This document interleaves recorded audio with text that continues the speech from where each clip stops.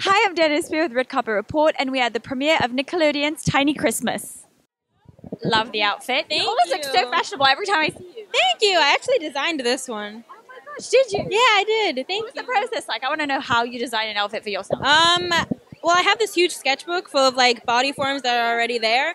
Then I kind of just go for it, I guess. I don't know. You just say like, I want this one to be made for this event, and I want that one to be made for that event. Yeah, I do. I do. Um, it's kind of hard to get it done though. Like I have to plan in advance if I really want it to work. So, but yeah. Tell me a little bit about Tiny Christmas, like tiny people. Yeah. What was life like as a tiny person? It was awesome. Um, we did probably half of it was green screen, and then the other half was like huge props and stuff like that. And the huge props were awesome. It was really really fun. what kind of huge props did you use? Um, there was like huge gingerbread. Um, there was like a huge gift bag that w- which we got to bounce around in. It was super fun. You'll get to see that. Um, yeah, just a whole bunch of other crazy stuff. What do you think you've learned about playing, you know, a tiny person living in a huge world? Mhm.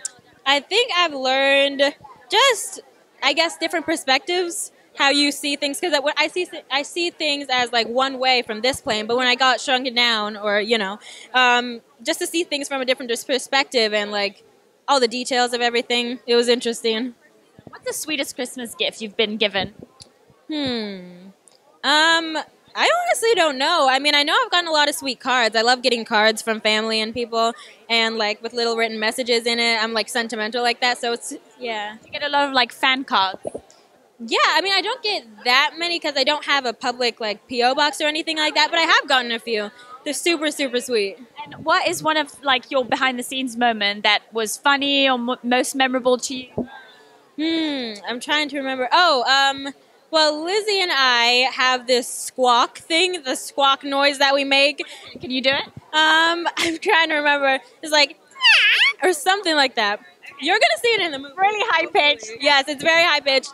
And um, so basically, we're bouncing around in the huge like gift bag thing, and then the director had us do our squawks. So we were like, "Yes, I hope it makes it into the movie." So I really hope it's there. Hope to see it. Yes. Thank you so much for talking to us. It was great to see you, and we can't wait to see it. Yeah. Thank you. Bye. Thank you so much for watching. Give us a thumbs up if you like this video, subscribe for more interviews, and let us know in the comments below what are your plans for the holidays.